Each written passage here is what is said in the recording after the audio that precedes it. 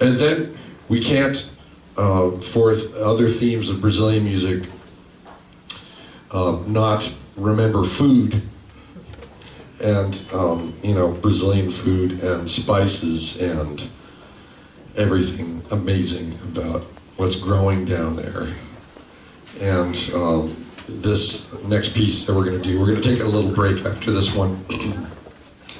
next piece we're going to do is written by the great Milton Nascimento, and um, I can't say enough amazing things about his music and how much it means to me. And there were so many pieces of music we, we chose from, you know, and we ended up with this one, and I hope that you enjoy it. And I don't know, should we? Yes. Your credit card's not working, sir. Would you like to try cash? Do you need some? Because I have. Sorry. All right, we're gonna we're gonna play this piece and take a short break. This is Cravo y Canela.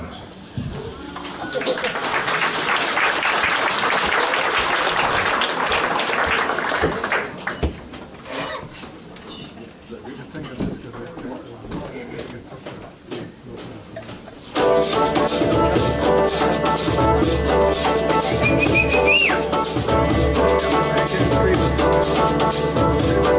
Thank you.